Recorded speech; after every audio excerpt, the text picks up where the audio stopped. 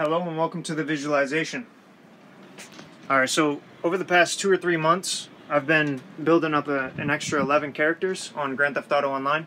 So now I have um, an arcade and a submarine on all 12 characters, so I can host a Cayo Perico heist and a Diamond Casino heist on all characters. So therefore I can host a 20, uh, total of 24 heists in a row, um, 12 Cayo Perico and 12 Diamond Casino.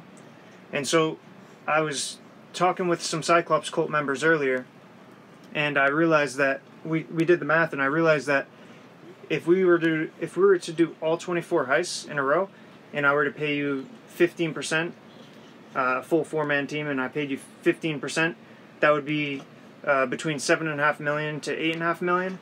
Uh, 15, and when I say 15%, I mean 15% cut. Um, and so so seven and a half million to eight and a half million, and it only it, it should only take between nine to ten hours. And also, if I were to pay you fifty five percent, that would be around thirty six million. So, um, anybody who's watching my YouTube channel right now that plays Grand Theft Auto Online, a lot of you that are subscribed are most likely people who have met me on Grand Theft Auto Online. If you're if you're interested in joining my Cyclops cult, uh, I'll pay for the outfit and and I'll also give you some extra money just for joining the Cyclops cult.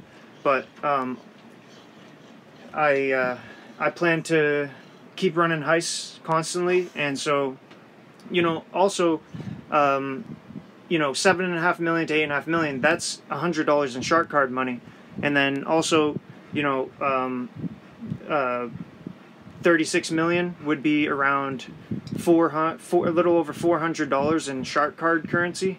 So the cost of shark cards translated uh, to GTA money or whatever. I don't know how to really say what I'm trying to say, but yeah, shark card.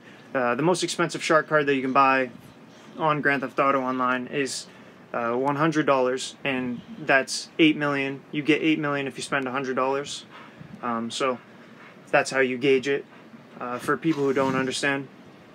So yeah, uh, I could I could pay you between hundred dollars in shark card currency all the way up to uh, around a little over four hundred dollars. So translating the shark card cost uh, that you have to spend real life money on to Grand Theft Auto uh, currency, that's that's where I'm, that's what I'm getting at there. So.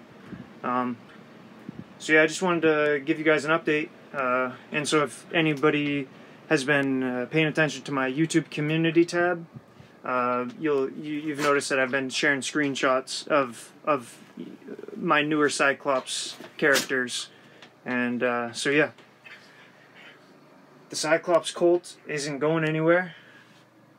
We're taking over Earth.